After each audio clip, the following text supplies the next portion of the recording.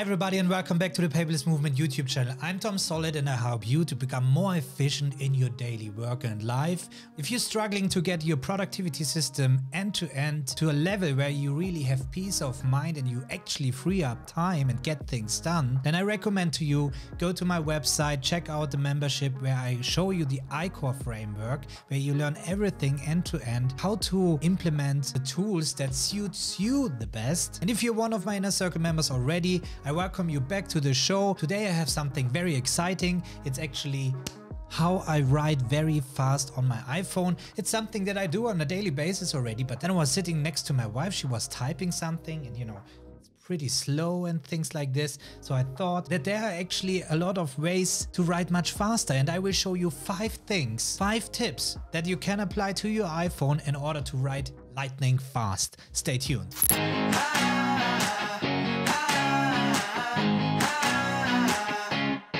Okay, here we are in drafts now and as you know, I could now just simply start typing.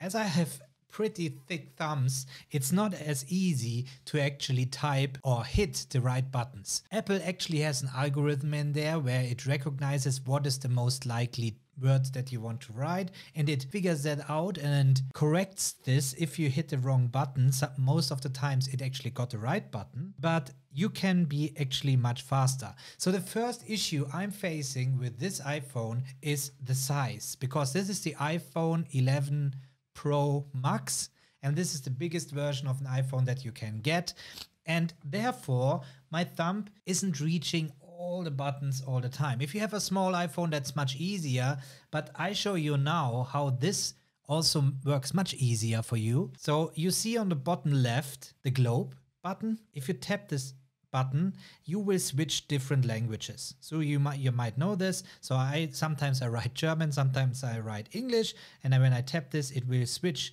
the languages easily. But if you press and hold this button, then you can select the different keyboards, for example, also the emoji keyboard. But when I press and hold the button, you see on the bottom as well, two different or three different symbols. This in the middle is selected, which shows we have the full width keyboard selected. When I go to the left button, you see now everything is moved to the left, to the left.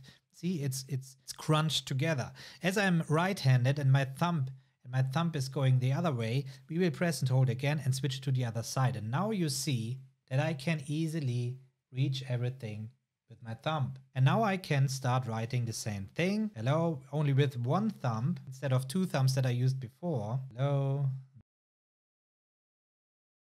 So it's already much faster if I need to write with one button and maybe drink a coffee with my other hand. So let's do the next step, which is swiping. Make sure that this, this is activated in the settings. Go to keyboard and there you go. Here you have the, the option slide to type and delete slide to type by word. Okay, so one, once you select this, you have this option as well. And slide to type or swipe on, I, you know this maybe from from the Samsung is actually you just sliding around on the keyboard. And don't be afraid, don't make it slow. Maybe that's that's an issue many have. They try to hit every button the right way. It is really the gesture that you're forming when you try to write a word. So let me do this now with the sentence we had above. Hello, this is Tom Solid. How are you? Then you can double tap space and you get a dot in the end. So you saw this is so much faster. The combination of making the keyboard smaller in addition with the swipe makes me lightning fast when I'm writing on my iPhone. Very convenient. I can still sip my coffee next to it. And now we see, okay, Tom Solid, it took the lowercase here. Makes sense because Apple doesn't know that this is a actual name. So we just press and hold the space bar and now we can move around the cursor on our text. So we go for S, delete this one and simply replace it with a uppercase S. That's actually already tip number three, the navigation with your with the spacebar. And as you can see, the keyboard actually is hidden more or less because I can swipe over the whole keyboard in order to select this. The fourth thing um, is something maybe many of you already know. We have the shift button here. So I say hello and the first letter was uppercase. But when I double tap the shift button, it will stay in the shift mode. So here it's important again in the settings that you enabled caps lock in order to have this. What I actually really hate is auto correction. It is messing up so many things, especially when you try to write funny stuff with words Apple might not know. And um, so it's correcting all the time. That's why I switched it off. But this is something you might already know with the, with the caps And the fifth tip actually is more of an expert thing where you have to think ahead what words you're using most. I have to go to the settings again and in the settings menu we got just go to general and tap on keyboard again. And now we are there where we were before. And up there you see text replacement. So when you go here you can actually add variations of words that you use a lot or even combinations or websites for example. For example you see here mem sign.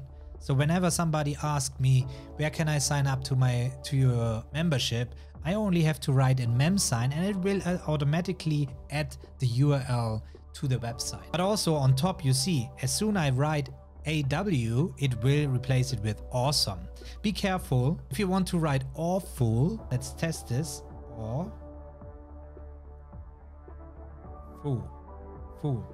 So this works. So what actually happens is when I write or and then I make a space, it replaces it with awesome.